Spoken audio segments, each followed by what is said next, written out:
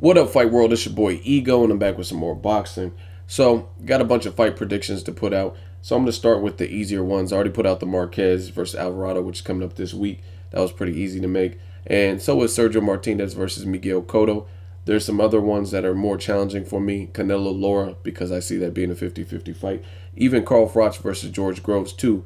There's a lot of variables that I want to consider. I want to rewatch the first one. As far as Martinez and Cotto, I see this as being a fairly easy fight for me to pick, and I have Martinez winning possibly by a late rounds TKO. I know Miguel Cotto's game. He has the advantage of the location. It's taking place in Cotto's second home of New York. A lot of Puerto Ricans there, a lot of Dominicans, and different people that'll come out to support Cotto, who has fought there previously and um, knows how to pack a house. He puts ass in the seats. I like Miguel Cotto, always have. I think his partnership with Freddie Roach, Freddie Roach is trying to bring out some of the things that made Cotto ferocious earlier in his career, like the body punching. And we've seen that in display in the fight with Delvin Rodriguez. Big differences Delvin Rodriguez is no Sergio Martinez. Martinez is bigger. Cotto's going up in weight, even though they're fighting at a catch weight. Cotto had a bunch of quote unquote diva demands, according to Sergio Martinez. I think Martinez is the type of fighter who is very machismo. He doesn't like being insulted. He feels underrated and feels underappreciated for what he's given in the sport. And I would agree. I don't think a lot of people rate Martinez where he should be. And he's given us great performances. Even his first fight with Paul Williams was a great fight. Um, he came back and in a close fight, Paul Williams and Sergio Martinez, and he leveled Paul Williams. And Paul Williams is my dude, but he just just the second round he just obliterated him. So he's given us those fights. The Kermit Cintrons, Kelly Pavlik, just great performances that he's given us. And a lot of people still don't have Sergio Martinez where they should be under his radar. However, they're quick to bring up Sergio Martinez hasn't looked excellent in recent fights. He's been troubled by Darren Barker, troubled by Macklin, troubled by Julio Chavez, uh, Julio Cesar Chavez Jr. in that 12th round only, and Martin Murray, same thing. But I think the difference maker is one, the weight. I see Sergio being too big for Cotto. I don't even think Cotto was at his best at 154. You could say, oh, he looked good against Mayweather, but Mayweather's not a true 154 pounder, in my uh, opinion. You've seen the Mayweather versus Maidana fight. Maidana rehydrated to 165 pounds or whatnot on fight night, and Mayweather went up to 148, I think it was, on fight night. So Floyd Mayweather's not the biggest dude, just like Pacquiao's not the biggest dude at welterweight. Not necessarily full fledged, but guys like that get away with beating other welterweights or people at 54 based on pure skill and their ability and their their wisdom and whatnot. But when you talk about Sergio Martinez versus Cotto, I just don't see how Cotto's going to win. Cotto looked good. He looked ferocious against Delvin Rodriguez. But Rodriguez, that was just what it was. It was a tune-up fight with a new coach, and he blew through him, which is good. But Rodriguez was not a world beater to me. Austin Trout beat him, and then we seen Austin Trout had a tough fight with Canelo, got hurt. Um, he got outboxed and hurt in the fight with Erislandy Lara. He gave Miguel Cotto problems. And this is something important. A lot of people talk about Cotto's last performance against Delvin Rodriguez. Again, where do you rate Delvin Rodriguez? How many fights have you seen Delvin Rodriguez? And when does he look great? Who's he beat? Type type of attitude. Then you look at Austin Trout. Austin Trout went into New York, Cotto's backyard, and he he beat Cotto. And you look at it, what did Cotto bring to the table? What did Austin Trout bring to the table?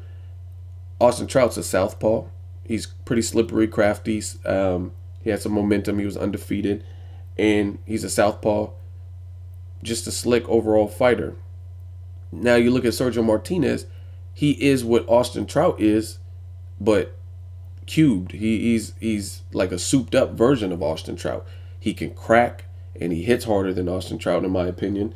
And he has more experience at a pro level than Austin Trout, in my opinion and he has more significant wins than Austin Trout had. So to me, you couldn't beat Trout convincingly.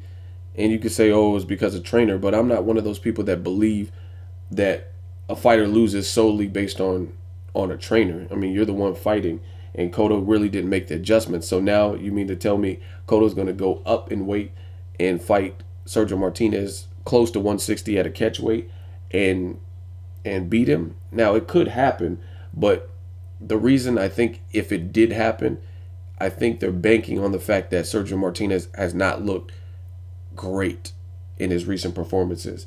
But I don't I don't make my predictions and judge fights based on a fighter possibly being injured, possibly not being the same fighter, possibly being wounded. And again, I think Sergio Martinez is a very prideful person from Argentina, and he has tons of heart. He showed you that in the 12th round. He should have tied up and clinched Chavez Jr., but instead he decided to bang it out. And if he was going to get knocked out, he was going to get knocked out, going on out on a shield.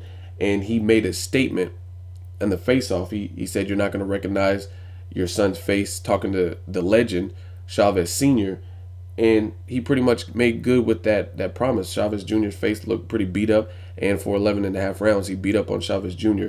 And Sergio Martinez to me is used to fighting bigger guys, so having someone come up, I just don't see how Cotto's going to do it. Again, he struggled with Austin Trout. You have a, a more advanced model. It's like the Terminator series. You look at the old T800 or whatever Arnold was, and then you looked at the T1000. He can turn into liquid metal and that's what Austin Trout to Sergio Martinez is. Sergio Martinez to me is a more souped up version of Austin Trout, more power, more pro level experience, even though he started boxing late. So I don't see how Cotto's going to pull it off. And again, I don't base my predictions based on the worst possible Sergio Martinez, the Sergio that, in my opinion, got knocked down twice by Martin Murray. They only counted one, but to me it was two, and I thought Martin Murray should have won that fight. But again, I'm not going off of the worst possible Sergio Martinez and hoping his injuries show up in the fight. You have to go off the best possible Sergio Martinez. And if that shows up, he gave himself a year off to rest and recuperate, which is the longest of his career that I can remember in recent memory. So he has plenty of time to um, recuperate. It could have an adverse effect if he has ring rust. We don't know. We will see.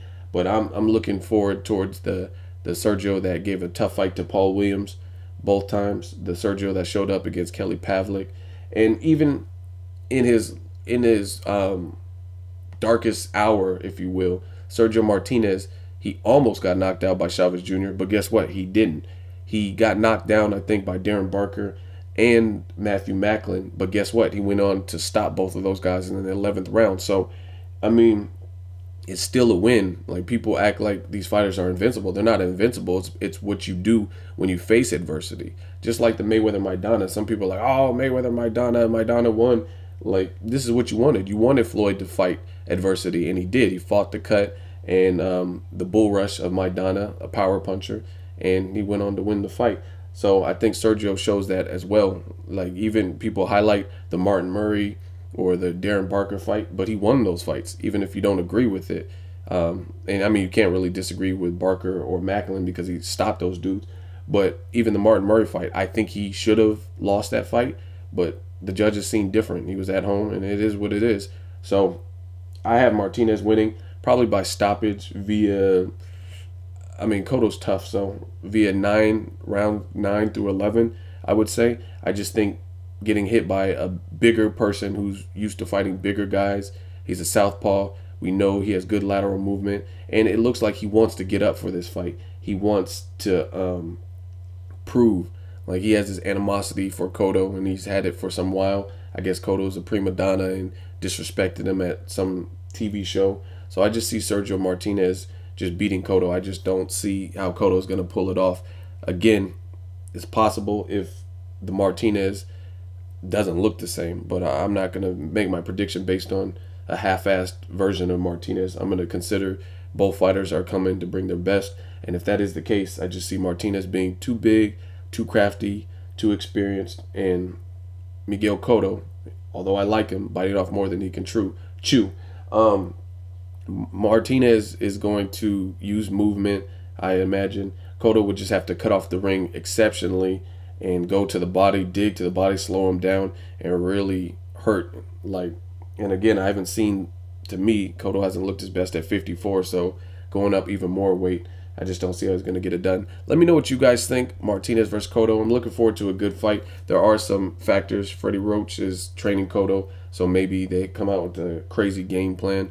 Um, Cotto is a good body puncher when he stays disciplined and he stays to it. Another thing that I've noticed with Cotto, more or less in recent memory, he seems to fade in the stretch, whereas Sergio Martinez, to me, is capable of going 12 rounds with no problem, even at his age of 40 or 38 or whatever age Martinez is. Cotto seems like to get a little bit dry and uh, fatigued in the later rounds. If you watch the fight with Margarito, the rematch, Margarito, luckily Pacquiao fucked his eye up so much that Cotto just had to put in the work and, investment early, and Margarito's eye was done. But it looked like Margarito had weathered the storm, and had the doctor not um, stopped that fight, Margarito might have come on and had a second win. We never know now because the fight was stopped, but it looked like Cotto was slowing down from using so much movement and boxing, trying to keep Margarito granite chin ass off of him. Same thing with the fight with Cotto and Mayweather. He was looking good. Um, he stole some of those mid rounds and had Floyd Mayweather bloody. But if you look at like the 11th, I think in the 12th round, it looked like Mayweather might have stopped him in the 12th round. He just didn't look like the same fighter. He didn't look as fresh. So going in against a guy that we know can go 12 rounds, has the stamina, um, doesn't. Another thing I like about Sergio Martinez, he doesn't have like this nervous movement. Some people move and they exert a lot of energy, but it's like a waste of energy. They're not using. They're not. They're moving unnecessarily, and then that burns up energy, especially when you're getting punched. So Sergio Martinez, late round TKO. I don't know if he'll knock him out cold, but I can picture a stoppage um, either by the corner or whatnot or the ref. Let me know what you guys think. Hope, hoping it's a good fight, and maybe Cotto can prove me wrong. This is just how I see it. As always, hate, comment, or subscribe. Till next video, is Ego signing off.